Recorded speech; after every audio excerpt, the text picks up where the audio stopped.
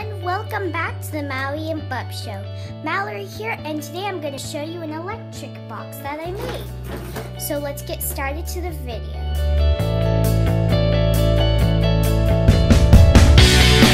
First, I'm going to show you the outside of the box.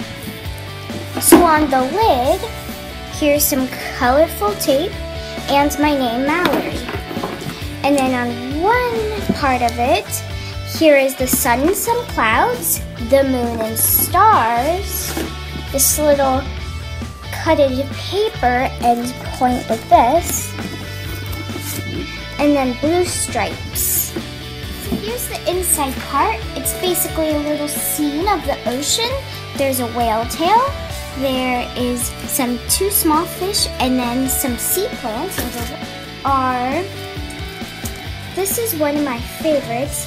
Here's like a little Mickey Mouse ears and then he has little pom-poms for his toes. And then if you put a watch battery in the back like this, it will light up like this.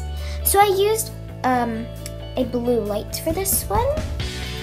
And then for the next one, which is this one, I used a watch battery. So if you do this put the two little strings together, it lights up but you can't really see it that well.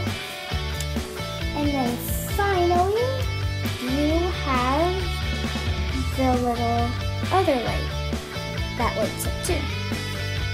And it's like a handle. So that's the inside. Hope you guys enjoyed this video. If you did, press the thumbs up to like, subscribe, and comment down below. Bye!